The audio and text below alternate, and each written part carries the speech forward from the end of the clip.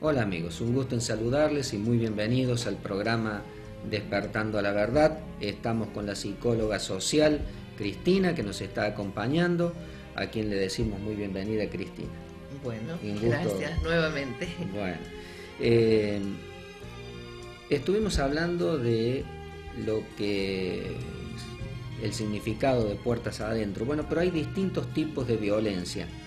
Eh, ¿Por qué puede pasar desapercibido a veces esta situación? Bueno, eh, yo quiero resaltar algo. El 80% de la violencia familiar comienza en el noviazgo. Está comprobado. Eh, esto a veces, es decir, a nadie le sorprende, porque hoy uno ve el trato en los jóvenes muchas veces y pasa como normal. No sorprende ni las actitudes, ni el, ni el maltrato verbal, ni el trato brusco que tienen, ni el comportamiento agresivo de los jóvenes, no nota. Pero yo les voy a dar algo que ilustra muy bien. Es, ah, por ejemplo, un dibujito. Hay una chica que se está por casar y va con el novio camino al altar, ¿no? Van camino al altar y ella se tropieza. Entonces él la agarra y le dice, tené cuidado, vos siempre la misma estúpida. Entonces mm. llegan al donde el que las va a casar y el que las va a casar le dice, Marianita, ¿querés a Juancito por tu esposo? Y ella lo mira y le dice, no, si me trata así ahora, no quiero pensar lo que va a ser convivir. Eso sería lo ideal, darse cuenta en el noviazgo, ¿no es cierto? Entonces, em, lo que, a lo que yo voy es que pasa desapercibido porque esto se va sumando y se toma, diríamos, una mala palabra, otra mala palabra. Hay, em, como algo normal. Y como algo normal. Eh, también tengo otro taller que se llama Antes de decir sí, que es justamente alertando a la violencia en el noviazgo, es para prevenir. Em, entonces esto muchas veces, eh, una vez que eh, uno se da cuenta cuáles son las situaciones, la víctima eh, está enamorada, a veces chicas quedan embarazadas y esto continúa. O muchas veces se cree que va a cambiar. Entonces esto pasó desapercibido en muchos aspectos, en otros no, pero ya estamos adentro. Bueno, una vez que estamos adentro podemos decir que hay violencia física. En el noviazgo se da y a veces no se da. Pero sí en el matrimonio, bueno, ya sabemos lo que es la violencia física, los golpes, eh, las quemaduras, escupidas. Bueno, e, eso no me voy a detener. Violaciones. Violaciones en el matrimonio, ¿cómo puede ser esto? ¿Cómo un esposo puede violar a una esposa? Sí, porque muchas veces después de darle una paliza, insiste en tener relaciones sexuales con la víctima. Esto es muy triste, es una situación este, a donde el victimario busca su propio placer. Eh, después tenemos la violencia psicológica y ahí me refiero a cuando muchas veces pasa desapercibida, porque eh, maneja a la víctima con gestos, con actitudes, con intimidaciones, con amenazas, eh, y, es va socavando a la persona hasta que llega un momento que la lleva a una depresión tal que muchas veces la ha conducido hasta la muerte. Esa es más sutil, pero no por eso menos peligrosa que la de los golpes. Bien, eh, tenemos más, pero lo dejamos para el próximo. Exacto. Muy bien, muy bien.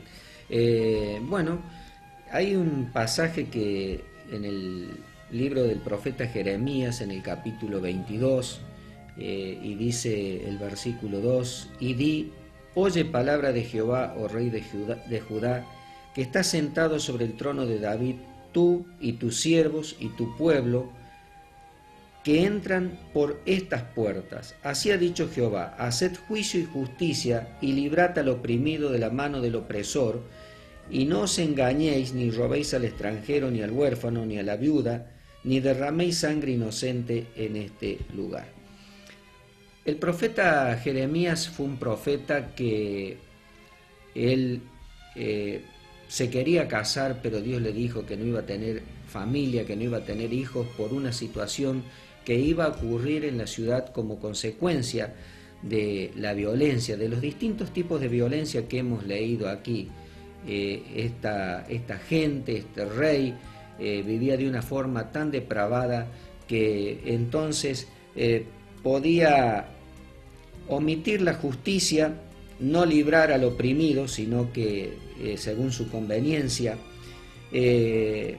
dice, no engañéis ni robéis al extranjero, era algo común, normal, ni al huérfano ni a la viuda, aquí ya se complica, los huérfanos y la viuda estaban en una forma muy desfavorable, dice, ni, derraméis sangre, sangre inocente en este lugar.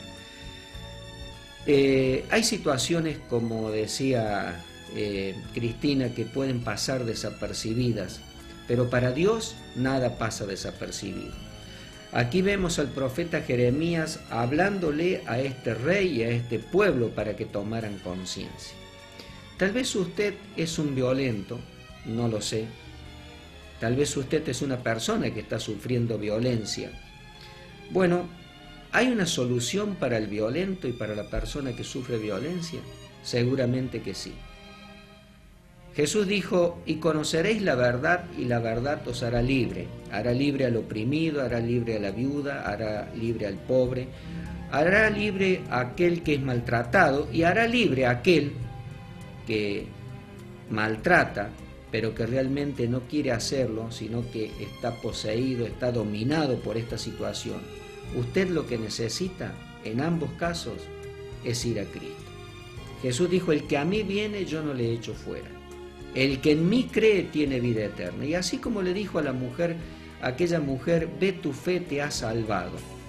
Hoy, si tú pones la fe en Jesús, te puede salvar no solo de vivir esta situación de violencia y ser violento, sino de la condenación eterna, porque esto tiene un castigo.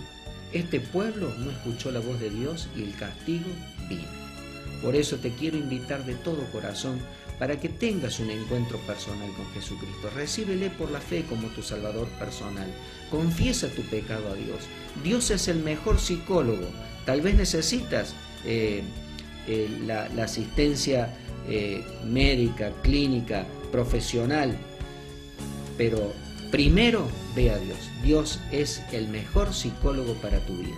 Confiesa a Dios tu pecado, pídele perdón, pídele a Jesús que te limpie y te lave con su sangre. Invita a Jesús a entrar en tu corazón.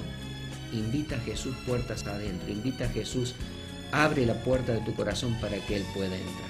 Él es un Señor, es un caballero. Si tú le abres, Él va a entrar a tu corazón.